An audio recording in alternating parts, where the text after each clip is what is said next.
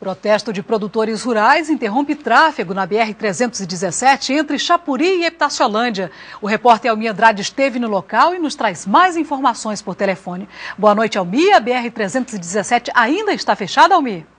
Boa noite, Mara Rocha. Mara, depois de mais de seis horas, a BR-317 fechada, por volta do meio-dia de hoje, os coordenadores do programa Luz para Todos reuniram com os produtores rurais para a liberação da BR. Os coordenadores assinaram um documento juntos com os produtores rurais que dia 15 de setembro as obras iniciarão e os produtores rurais que estão sendo prejudicados serão beneficiados com o programa Luz para Todos.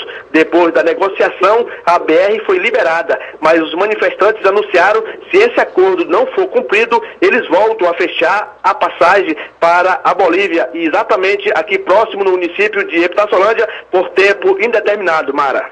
Tá certo, Almir. Obrigado e uma boa noite para você, Almir. Boa noite.